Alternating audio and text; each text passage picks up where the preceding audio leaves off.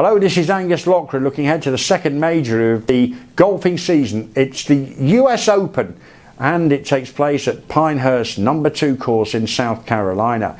And a special offer for you if you're uh, investing with 666bet.com. If a British player wins, and uh, we have had a few British winners, surprisingly, of the US Open in uh, recent seasons Rory McIlroy, Graham McDowell, and Justin Rose, then you get your money back good offer that, and I think that might encourage me to place my investment this week that way because I think that there is a good chance that McIlroy could be right up there amongst the leaders come Sunday night. He's the favourite and he's had a funny season, but his victory in the BMW when all that was going on off the uh, golf course uh, with his uh, split from his tennis uh, high profile uh, partner Caroline Wozniacki, well, I think that was one of the great sporting achievements of the year so far.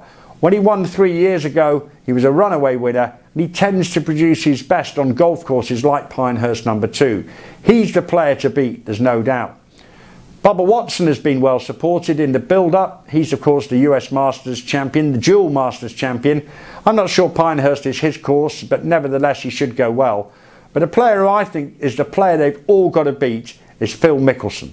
He's the British Open champion, the Open champion himself who won at Muirfield, probably against the odds last year, having won back to back, having uh, secured a famous win up the road at Inverness to win the Scottish Open just a week before. Now, this is the only major championship in the Grand Slams that Mickelson hasn't won. And he's had a lot of close shaves. He was runner up here the last time the Open, the US Open was staged here behind Payne Stewart he was runner up agonisingly to Justin Rose. He has had a lot of close finishes in the US Open, five of them, and this is the one that he would like. So I think Mickelson is the player to beat.